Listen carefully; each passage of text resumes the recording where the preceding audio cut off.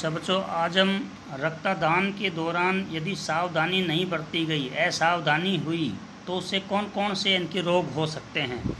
उसके बारे में देखते हैं।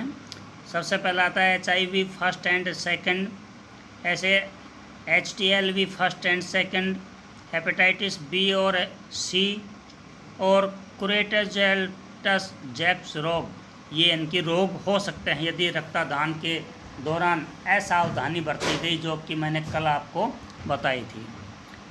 अब आता है रुधिर वर्ग का आनुवंशिक महत्व genetic significance of blood group इसके अंदर देखिए इनकी, कल मैंने बताया था जो ब्लड ग्रुप जो है ए बी ए बी और ओ प्रकार का है। तो इसका जीन प्ररूप यदि देखा जाए तो इसके अंदर जो जीन जो है, वो इनकी एक का, इनकी आई ए आई ए बी का आई और इसका दो हो सकते हैं। आई ए आई ए आई ए और आई ओ से भी दर्शा सकते हैं।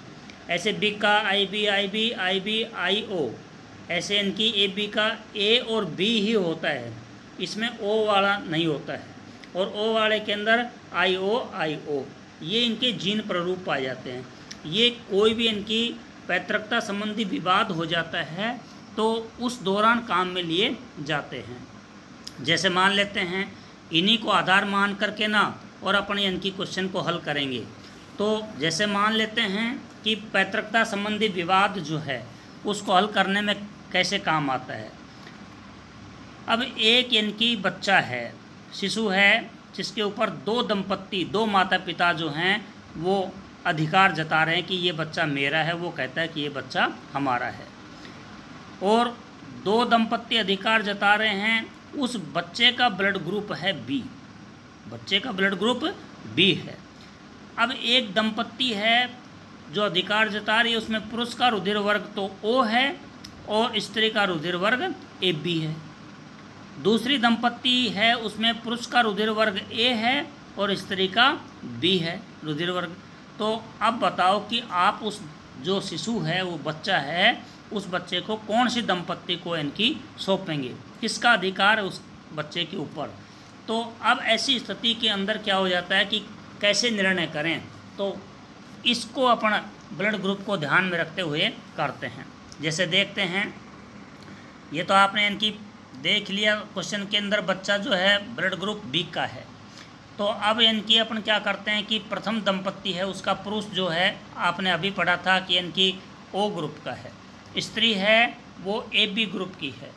तो ये इनके जीन प्ररूप अपन लिख देते हैं और जैसा कि तालिका में अभी बताया था, इनको डिवाइड कर लेते हैं अलग अलग इनको भी डिवाइड कर लेते हैं अलग अलग अब इसका जो है क्रॉस जो है, इसके इससे कराते हैं पहले, फिर इसका क्रॉस दूसरे से करवाते हैं, फिर इसको लेते हैं, इसका क्रॉस इससे करवाते हैं और फिर इसका क्रॉस इससे करवाते हैं। तो अपने पास में इसका इससे क्रॉस होता है तो ए ब्लड ग्रुप आता है। ए ब्लड ग्रुप आया ऐसे इनकी इसका इससे कराते हैं तो बी ब्लड ग्रुप आता है, ऐसे इससे कराते हैं तो ए ब्लड ग्रुप आता है और इससे इनकी बी ब्लड ग्रुप आता है। इनकी बच्चा जो है, वो इन ब्लड ग्रुप का पैदा हो सकता है। ए और बी ब्लड ग्रुप का हो सकता है। अब दूसरी दंपत्ति लेते हैं, जो अधिकार जता रही है वो भी। तो इसके अंदर इनकी पुरुष का ब्लड ग्रुप ए है और स्त्री का ब्लड ग्रुप बी है। इन दोनों को फिर इनकी अलग कर लेते हैं। दोनों के जीन प्ररूप को, दोनों के जीन प्ररूप को अलग करने के बाद में इनका क्रॉस करवाते हैं। दोनों तरफ़ इससे, फिर इसका, इसके दोनों तरफ़ से इनकी करवाते हैं। तो अपने पास में जो है, ये इनकी आता है, ए बी ब्लड ग्रुप का बच्चा पैदा कर सकते हैं ये, या फिर ए ब्लड ग्रुप का बच्चा पैदा कर सकते हैं, या फिर ए बी ब्लड ग्रुप का कर सकते हैं, या फिर ए ग्रुप का पैदा कर सकते हैं। तो इससे स्पष्ट हो गया है कि केवल जो प्रथम दंपत्ति है, वो इनकी बी रुधिर वर्ग का शिशु उत्पन्न कर सकते हैं। दूसरी दंपत्ति है, वो उससे इनकी बच्चा पैदा बी ब्लड ग्रुप का हो ही नहीं सकता, इसलिए उसका अधिकार जो है, बच्चे के ऊपर जो अधिकार है, प्रथम दंपत्ति का ही होगा। इसलिए पैतृकता संबंधी जो विवाद आते हैं, उनको हल करने के लिए ये काम मिली जाती है। अब आता है कि अंगदान और देहदान। मान लो कोई भी जीवित या मृत व्यक्ति जो है, वो किसी भी व्यक्ति को अपने अंग दान कर देता है तो वो अंग दान कहलाता है। और देहदान कि कई व्यक्ति ऐसे होते हैं जिनका इनकी जो दिमागी खराब होने के कारण से या ब्रेन डेड होने के कारण से इनकी, उनकी सारे पार्ट्स तो सही काम करते हैं, लेकिन ब्रेन डेड हो जाता है तो वो इनकी देहदान कर देते हैं ताकि एक देह से लगभग पचास इनकी ज़रूरतमंद जो लोग हैं उनको इनकी जीवन दान मिलता है। तो ये कहलाता है अंगदान या देहदान कहलाता है।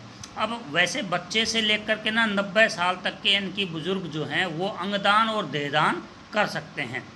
इसलिए जिससे इनकी दूसरा जो व्यक्ति है, जो जीवित है, उसके जीवन के अंदर रोशनी मिलती है और हम भी इनकी दूसरे जीवित व्यक्ति के अंदर जो व्यक्ति इनकी मर जाता है, वो व्यक्ति दूसरे जीवित व्यक्ति के अंदर जीवित इनकी विद्यमान रहता है। अंगदान का महत्व क्या है? अभी मैंने बताया कि मृत्यु के उपरांत भी हम जीवित रहें, दूसरे व्यक्तियों के अंदर। है, हमारी आँख, गुर्दे, यकृत, अग्नाशय, हृदय, फेफड़े, अस्थि, मज्जा, त्वचा, हैं, ये हमारी मृत्यु के बाद में जब किसी दूसरे के जीवन के अंदर इनकी सुख ला पाएँ तो इस दान को हम सबसे उत्तम श्रेणी का दान कहते हैं। अतः अंगदान और देहदान के महत्व को समझो और उन लोगों की मदद करो जिनका जीवन किसी अंग के अभाव के कारण से बड़ा कष्टप्रद है, ताकि मृत्यु के पश्चात जो है, उसका जीवन जो है, वो अच्छा हो जाए, कष्टों से दूर हो जाए। मृतदेह धान से अंग निकाल करके ना, और जो ज़रूरतमंद जो व्यक्ति है, उसके अंदर प्रत्यारोपित कर दिए जाते हैं, ट्रांसफ़र कर दिए जाते हैं। देहदान, अभी मैंने बताया था कि जिसकी इनकी ब्रेन डेड व्यक्ति जो है, वो इनकी कर सकता है। जिसकी मृत्यु किसके कारण से हुई? ब्रेन डेड होने के कारण से हुई है। और मृत जो शरीर जो होता है, उसे छः घंटे से लेकर आठ घंटे के भीतर नेत्रदान किया जा सकता है। नेत्र जो हैं छः से आठ घंटे, जब व्यक्ति की मृत्यु हो जाती है तो छः से आठ घंटे के अंदर नेत्रों को निकाल कर दूसरे व्यक्ति के अंदर हम ट्रांसफ़र कर सकते हैं तो वो सही रूप से प्रत्यारोपित हो जाते हैं, सही सुचारू रूप से कार्य करते हैं। भारत सरकार का भारत सरकार जो है हर वर्ष तेरह अगस्त के दिन को अंगदान दिवस के रूप में मनाती है।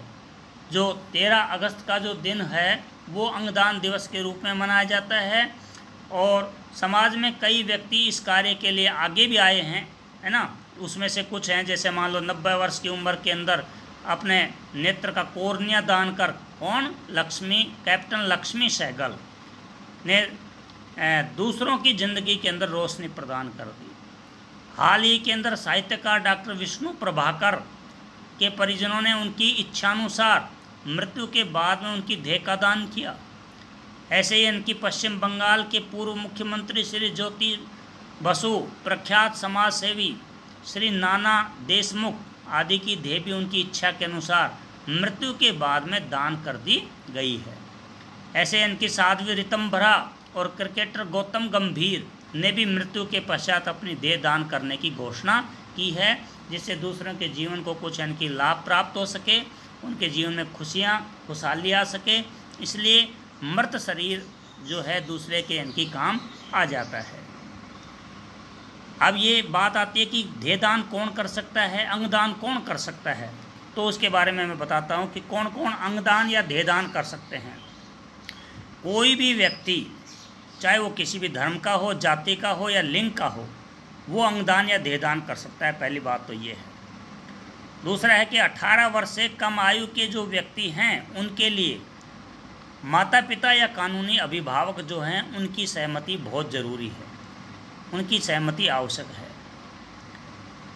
अंगदान या देह, अंग या देह दाता जो है, दान करने वाला जो है, अपने जीवन काल में दो गवाहों की उपस्थिति के अंदर लिखित में सहमति प्रदान करनी चाहिए उसको। तब जा कर के ना उसके इनकी शरीर में से अंगों को निकाला जाता है। दो गवाहों की उपस्थिति में सहमति प्रदान की जाती है। और यदि मृत्यु से पूर्व ऐसा नहीं किया गया, दो गवाह की उपस्थिति में इनकी सहमति नहीं दी गई तो मृत्यु पश्चात उसका अधिकार उस व्यक्ति के पास होता है, जिसके पास सबका विधिवत आधिपत्य होता है। और लास्ट है, भारत में अंगदान और देदान एक कानूनी रूप से मान्य है। इसके साथ ही बच्चों, ये जो आपका जो चैप्टर जो है, चौथा ये कंप्लीट होता है। नेक्स्ट डे हम पांचवा चैप्टर जो है, वो स्टार्ट करेंगे।